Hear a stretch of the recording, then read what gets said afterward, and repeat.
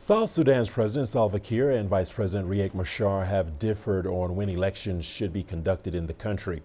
President Kiir insists elections should be held in 2024 as scheduled in a peace deal.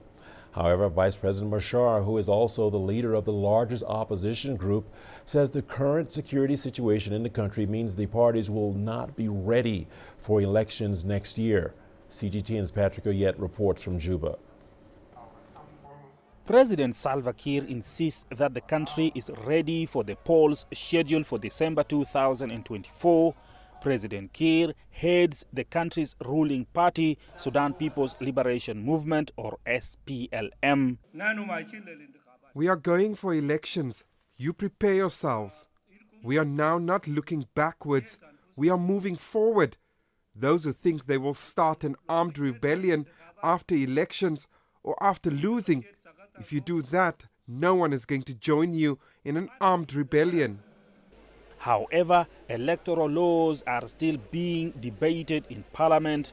The electoral body is not yet in place. Civic education on the elections and voter registration is yet to start. Many of the political parties in South Sudan have armed wings. These groups have not yet been fully integrated into the national army. Each group remains loyal to and takes order from its own commander. Opposition leader Riek Machar, who is one of the country's five vice presidents, says the country will not be ready for elections in December next year.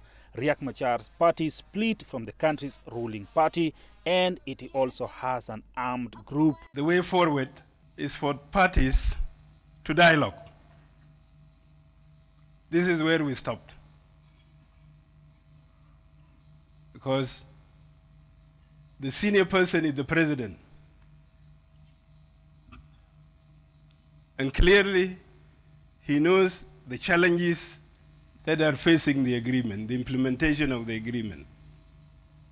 He knows them, as we also know them. South Sudan has never held elections since the country gained independence in 2011 due to years of civil war that followed the secession from Sudan. Many here fear that violence could break out again if elections are held without a proper security arrangements. Patrick Oyet, CGTN, Juba, South Sudan.